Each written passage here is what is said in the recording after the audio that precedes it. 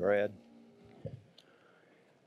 Well, it is so good to see each of you this morning and to welcome you here uh, as we are worshiping the Lord together in Forest Lake Baptist Church. In addition to welcoming those of you who are here present, I want to say welcome, of course, to those who are present with us online. Uh, we have begun to speak of our online campus, and so just want to uh, say that we appreciate each of you uh, as you join us uh, on the internet each week. and speaking of that, I need to talk just a little bit about things coming up this month. Now, this is not part of the sermon, don't worry about that. Uh, but here's what we're going to do just to be sure everyone knows. Okay?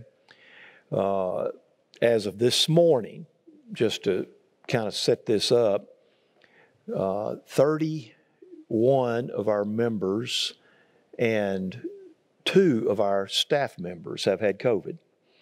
And so we don't announce those names, we don't publish that list, and the word kind of gets around in the church family, so to speak. But you want to be want you to be in prayer for those individuals, of course, and those families.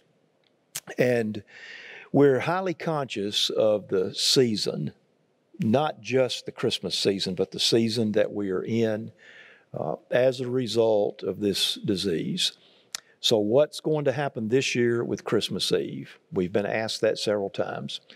Here's what's going to happen on Christmas Eve we are going to pre record the Christmas Eve service, and it will be available online starting about midday on Christmas Eve, the 24th. And so, we will encourage you to go ahead and participate in that service at home. Your family who is with you, or if you are there uh, by yourself and want to observe that, that is, that is okay. But we're going to do that virtually. What that means is there will not be a gathering here on Christmas Eve. Okay?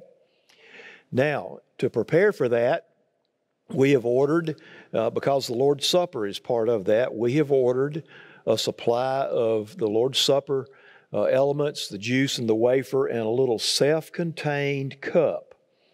And Donnie Patrick and I will be doing uh, a lesson on how to open that cup without losing your wafer. Okay? Uh, we, we, and it's, listen, it's gluten free. Go ahead and tell you that for all of our uh, diet conscious and gluten conscious folks that are here in the room or out there with us in the online campus. It's gluten free. But we do need for you to do this beginning tomorrow. You may come by the church office between 9 and noon, and if you need just one serving or if you need five servings for your family, whoever will gather, we will uh, they're sanitary, of course. We'll handle those with gloves, but we will put those in a Ziploc bag for you. And then next Sunday, at the conclusion of worship, uh, we will also have uh, hostesses or servers, however we whatever word we want to put on it, available, and you can pick those up on the way out to do this at home on Christmas Eve. Okay? And so I know that I'm giving you this news, looking at you, and I can see most of you, and the Christmas Eve service is a high point for all of us. Uh, I have a story I'll tell you about that. My first. Uh, I'm having trouble hearing you. I'm so tired of this watch. You don't need to hear me. and I have it on mute. I have it on mute. My, my phone, that part of it is over in the office. If you don't be quiet, I'll put you inside that pulpit with that roll of toilet paper. Some of you don't believe me, do you? Okay. Where was I? The first holiday weekend I was at Holt. We come up on planning Labor Day weekend. How, and I asked the question in the church council, how many should we expect? Oh, we'll have people here, you know, and everything. Had six faithful, wonderful people. We came up on the Sunday night of Thanksgiving week, And I didn't ask the question, how many will we have? I made a decree. I said, we're going to grant a guilt free Sunday night off to those six people. you know, and, uh, and so we actually had a discussion. Alicia, raise your hand. She was part of this at one point with us out there, where we'd said, all right, we're going to identify the guilt free Sunday nights and Wednesdays. And that's how we did it through the year. Came up to Christmas Eve. I asked the question, all right, now, is this going to be well attended or is it going to be the same six people that need a Sunday uh, guilt-free night off? Oh, it'll be a full house. Okay. I mean, it was packed. And it snowed that night. Some of y'all, some of y'all remember that.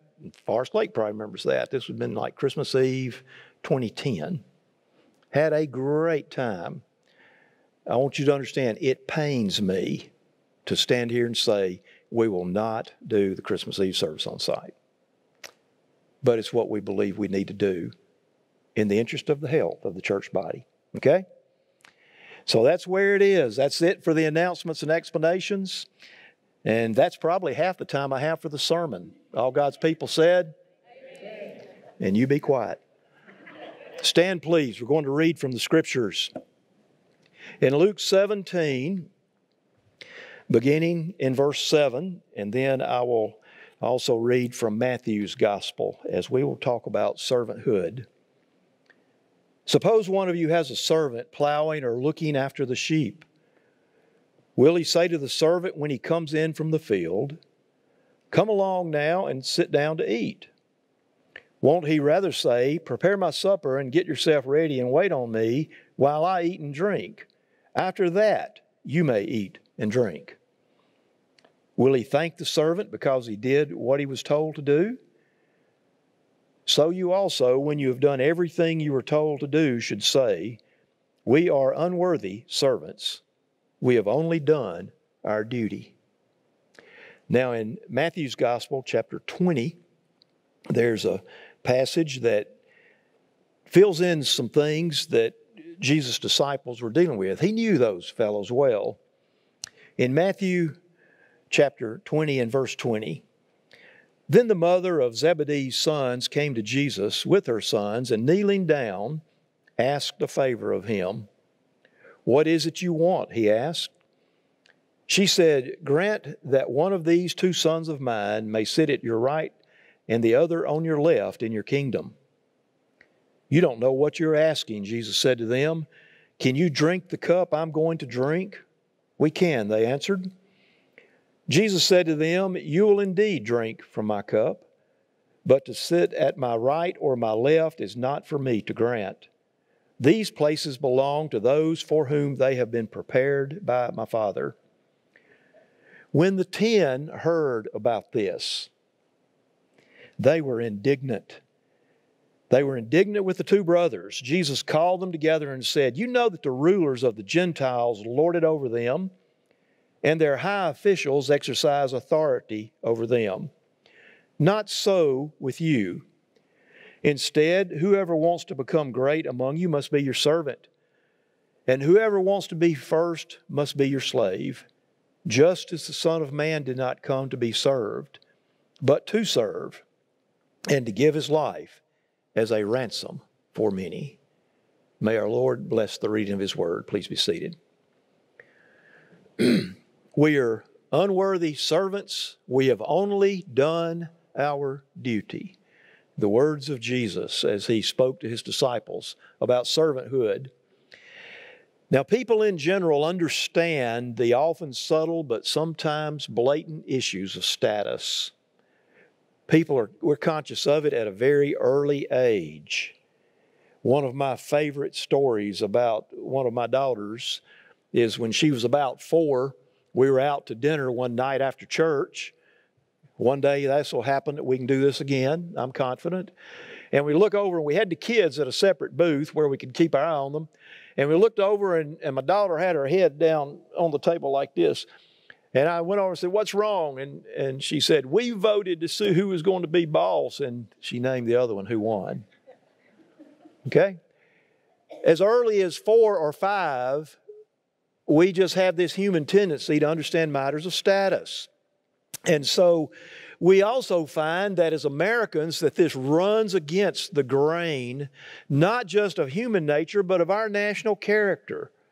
We are by nature a ruly and unruly and independent type of people. You see, a long time ago, for all of us seated in this room and many of you listening, our forefathers left some other place to come here. And when they left coming here, this is what happened.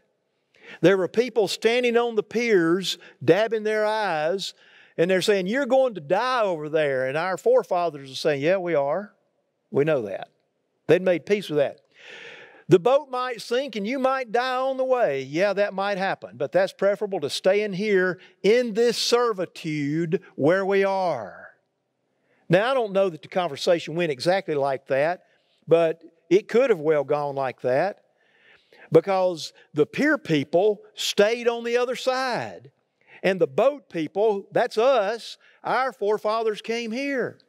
And then they got off the boat in North Carolina or Virginia or wherever they were, and they began traveling out across this land and they established communities, well, homes and communities and businesses and churches and schools. This is our history as a people, as Americans. And I want you to know that after the people got together and they had a store, what is the first thing they did? They built a church. And the school met in the church.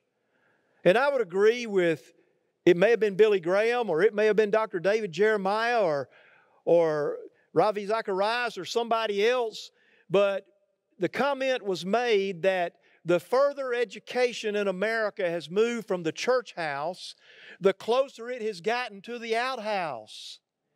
And it has, we are seeing some of the results of that today with people that don't know our history and do not understand our character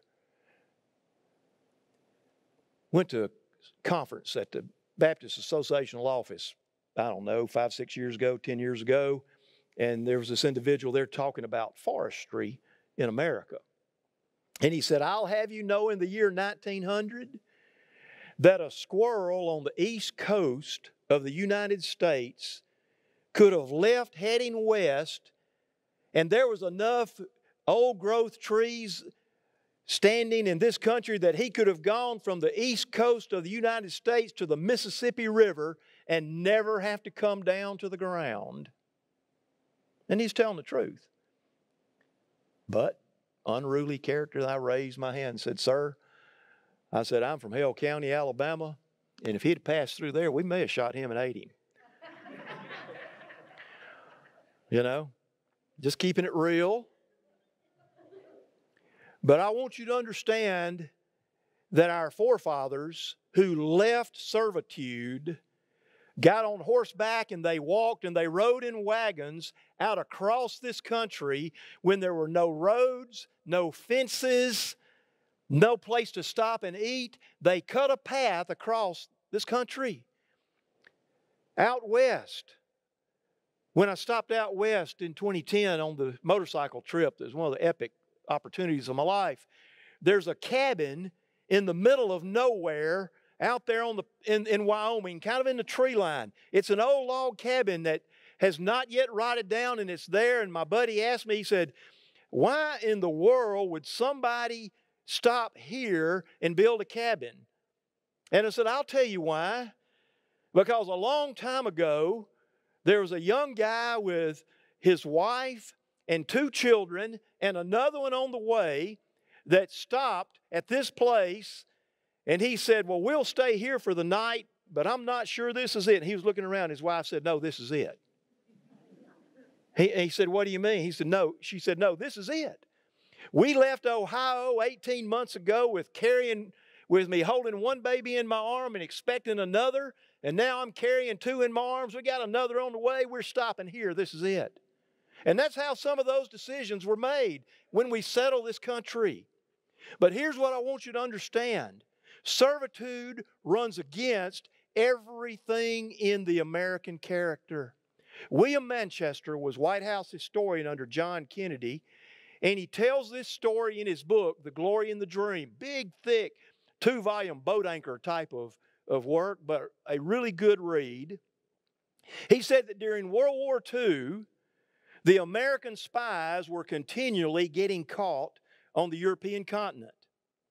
He said the British spies walked as if they owned the world.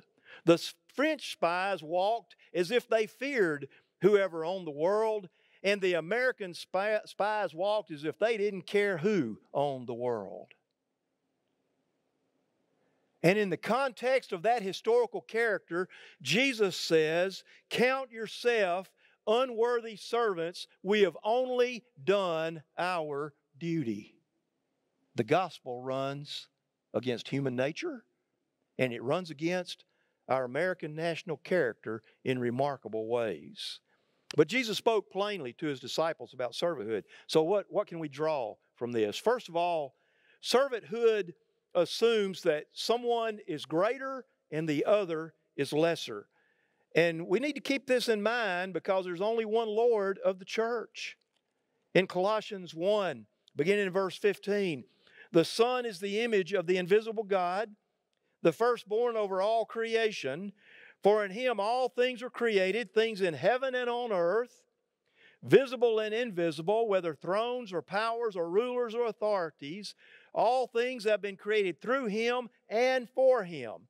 He is before all things, and in him, that is Jesus, all things hold together. I want you to understand in the midst of this pandemic, we hold together spiritually and emotionally and socially and organizationally. We hold together because of Jesus, who is our personal Lord, and the one Jesus who is Lord of the church. He is before all things, the greater. And in Him, all things, the scripture says, hold together. And Paul goes on. He is the head of the body, the church. He is the beginning and the firstborn from among the dead, so that in everything he might have the supremacy. For God was pleased to have all his fullness dwell in him, and through him to reconcile to himself all things, whether things on earth or things in heaven, by making peace through his blood shed on the cross. Jesus, the one who said, The Son of Man did not come to be served, but to serve and to give his life as a ransom for many, is the one who calls us to servanthood. He calls us to servanthood. And so, what are we to make of that? Well, first of all, as Matthew reminded us so vividly, no one goes to the head of the heavenly line based on their earthly status. The ground is level at the foot of the cross. And I would argue that most of the problems we encounter in life and in church go back to human selfishness and the desire to be first be recognized, be important, exercise power, the desire to be at the head of the line, looking back on everybody and say, I got here first. Doesn't work that way in the kingdom of God. And so we need to be realistic about servanthood. It may mean we get very little rest. That's what he indicated there in Luke's gospel. I can kind of identify with a little bit of this from when I was in high school, junior high and high school, and my dad was an interesting taskmaster. He grew up old school. In fact, his family was one of those families that rode out across the country on horses, and uh, and that was part of the family story about how they settled and all that. But it didn't matter how tired we were if we had chores to do around the house.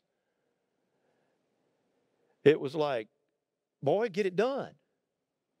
Some of you have heard this one like I have. Boy, don't make me have to get up out of this chair. Now, he's already in a chair. I want to be in a chair. It's like, get it done. Okay? And, and so Jesus spoke to this. He's a, in servanthood, we might not get a lot of rest. And so, how are we to deal with that? Well, there are two analogies that come to me as I think about the fact that life can bring us pleasant things or difficult things. One is the conveyor belt, and the other is a merry-go-round. You know what a conveyor belt is? It just brings stuff to us. My favorite memory of a conveyor belt is the old service merchandise warehouse down on Skyland Boulevard where the Beauty Mark store is now. You know, you walked around through the store. This was the first store of its type in Tuscaloosa where you could walk around and look at all the all the stuff that was there. But you write down the number and you go pay for it, and you don't take the one you see on the shelf, you take the one they bring you on the conveyor belt. And so then we're all standing back there, you know, as we shop there, eight or 10 people, 25 people at Christmas. It'd be a mob full of people. And, and so we can hear that thing clanking in there. And the employees are working, and things would come rolling down that that chute. And we, whose is that? You know, is that yours? And we're looking for the number and everything. Come on, how many of you remember this? The rest of you haven't lived. Okay? I'm telling you, you haven't Christmas shopped until you've been to service merchandise. Well, you know, that conveyor belt represents circumstances in life. Circumstances bring us things that are pleasant and things that are unpleasant. And the other one that speaks to me is a merry-go-round. You know, that carnival deal that goes around and around and around. And some of you felt a slight nausea in the pit of your stomach when I said the word merry-go-round. Because you know, for a few minutes it can be fun. But after a while, you start kind of feeling this wooziness in your head, and it's like, where am I? And who am I? And how do I get off of this thing? Well, you can't just jump off. Have to wait till it stops. And so life is a little bit like that. And servanthood is a little bit like that. There are times in servanthood when the things that come to us are very pleasant, and there are other times when life circumstances come to us and they're very difficult. But we stay the course. And then that merry-go-round that represents time, there are times when we'd like to jump off. But we can't do that either, not without great injury. Now, the analogy breaks down. Of course, you understand that, but you also understand what I'm saying that we have to be willing through our faith in Christ to just step up and embrace whatever circumstances and time brings to us as we serve Him. And then, that verse that we are reminded of tells us, Well done, good and faithful servant, enter into what? Your rest. There will come a time when we rest. I think all people want their lives to matter. And I want you to understand that in the kingdom of God, we all have an opportunity for our lives to make a difference for eternity. And we don't know who that might be that we influence for eternity, but there are people around us in our spheres of influence that we shape for eternity as we walk with the Lord in a servant's spirit because he uses human instruments. One of my favorite people in the whole world has gone on to be with the Lord. Her name, eh, when I met her, was Iva Hemphill. And she later became Iva Kaiser. Uh, she was a senior adult lady in our church in South Louisiana. I went to that little church. I was about 26 or 27 years old, and Miss Iva was 69 years old. I thought she was ancient. no, I didn't tell her that. Uh, I mean, I don't have a lot of sense, but I had enough sense not to say, oh, you're old, you know? And now I'm looking back, and to me, somebody 24, 25 years old is a baby, you know? And, and I kind of wonder, uh, sometimes she's sitting there listening to me preach and says, Oh, Brother Rick, that was a great sermon.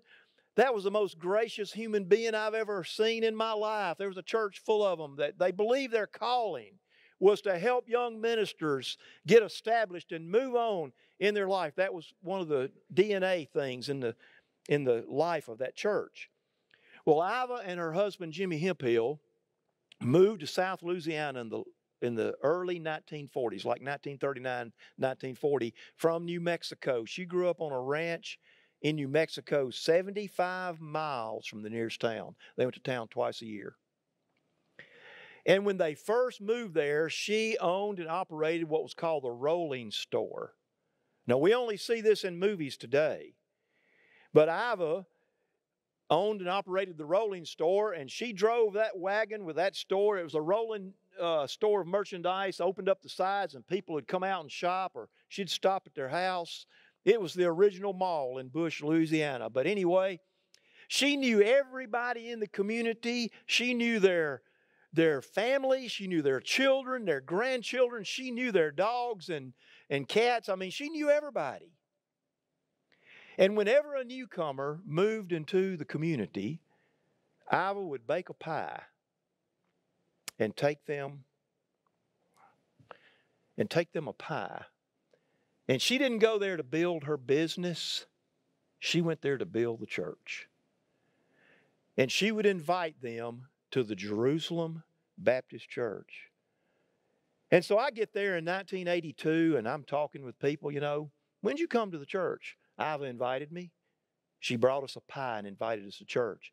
Ask this other, when did you come to Jerusalem Baptist Church? Well, Miss Iva ran the rolling store and she came by our house and and one day she came in her car, she wasn't in the store, she brought us a pie. Something as simple as a pie. I'll have you know, when I got to Bush, Louisiana, I probably weighed 140 pounds soaking wet. It's been a long time since I weighed 140 pounds in any description. Her pies are part of my problem. Let's just face it like it is. It's Christmas. Let's eat. Okay? But I want you to know that her status in that community, in that church, was unquestioned. But it wasn't because of her age or affluence. She may or may not have been affluent, I don't know. She and, she and Mr. Jimmy lived a very simple life. But her status was unquestioned because of her servant's heart and a gift of godly wisdom that had been exercised for decades so that two generations of people in that church were there because Iva brought them a pie in the name of Jesus. And I want you to know that whatever station you may occupy in life out there, that is of no use in the kingdom of God unless you have surrendered that to the Lord Jesus Christ. And unless you have willingly embraced this servant opportunity that the Lord calls you to through faith in Christ. The Apostle Paul spoke to the Philippian church and he said, Paul and Timothy, bond servants of Christ Jesus, to all the saints in Christ Jesus at Philippi, including the overseers and deacons, grace to you in the name of God our Father and the Lord Jesus Christ. It's Philippians 1 1 and 2. Interesting word there. Paul and Timothy, bond servants. That word in the Greek is the word doulos. It is a bond servant, one who has voluntarily surrendered themselves to a master for life. And that's our calling. Your calling and my calling. The same calling. My calling is no different from yours. My gifts in the Spirit may be different, but my calling and your calling are exactly the same to give ourselves to the Lord Jesus Christ and become, as was Paul and Timothy, the doulos of God. Live out servanthood in this life and look toward rest in the next life but realize that what we do in this life has eternal significance. So, how do you respond? First, by giving yourself to the Lord. Search your heart. And if there's anything in your heart that keeps you from being a servant, ask the Lord to forgive you of it and then move on with a servant spirit. And then answer the call of Jesus to whatever opportunity He puts in front of you. And then look for those opportunities to voluntarily bless those around you. It's Christmas season, a season of giving. Christmas is more about giving than about getting. In the secular way that we think about it, all too often we're conscious of the getting, but the scripture tells us that God so loved the world that he gave his one and only Son, that whoever believes in him would not perish, but would have eternal life. Stand with me, if you will, as we pray. Brad is going to come and lead us as we close. Thank you so much for being here today. Thank you to those who are worshiping with us online. Our prayer is that the Lord blesses you and your family. And in this message today, our prayer is that we see the servant opportunity of the kingdom as a gift of God's grace. Let us embrace it freely. Eternal Father, we thank you that you hear us when we call on you. We thank you that you love us without judgment, that you bless us freely without restraint. I pray for each one here today that you would fill their hearts with the knowledge of your love and with the peace of your presence, whether they're here with us in the facilities or with us online. We trust, Lord, that during this Christmas season, your gift of grace, shown in the person and work of the Lord Jesus Christ, would fill the lives and hearts of all who seek you. In Jesus' name we pray. Amen.